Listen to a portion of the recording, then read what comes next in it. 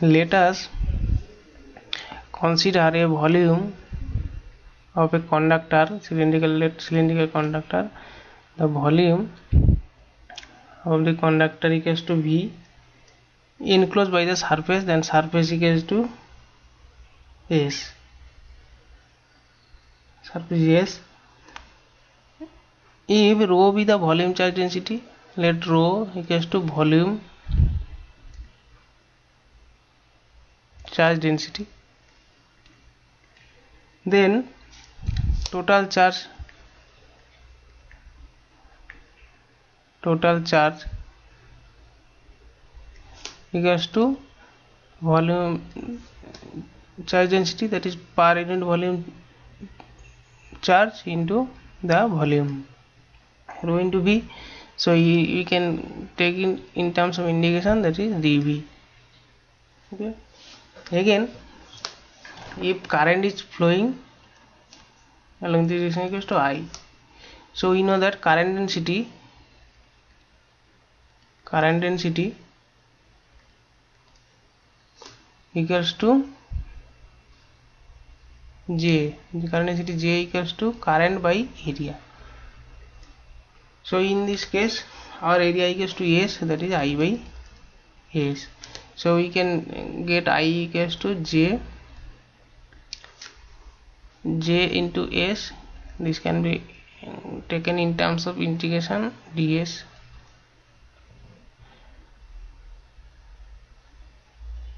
as current density as a vector because area is a vector so this can be written also as a j dot ds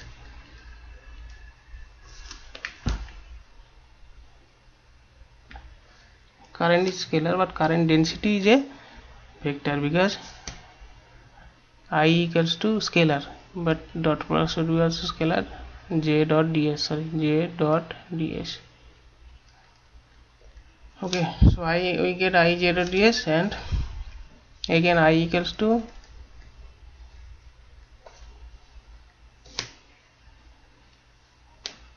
sorry, i equals to q by s that is rho sorry Q by T और D D Q by D T और D Q by D T so this gives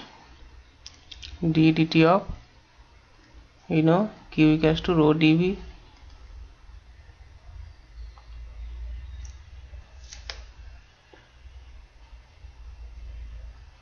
so equals to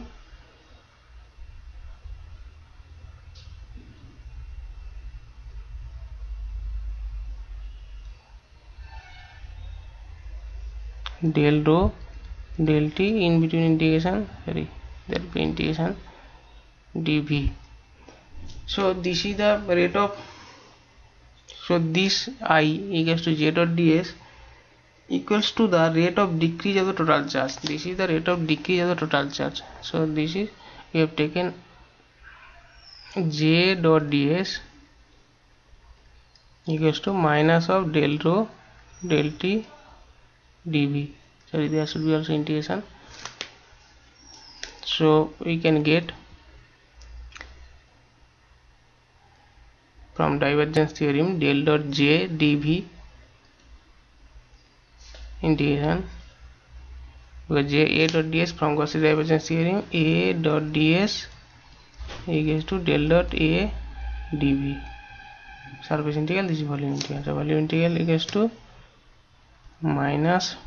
integration of del rho del t dv this gives del dot j plus del rho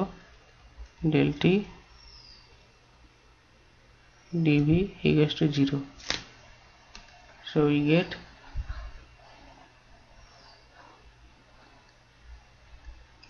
from the last line we get del dot j plus del rho del t dv equals to 0 this implies del dot j plus del rho del t equals to 0 this is our continued irrigation.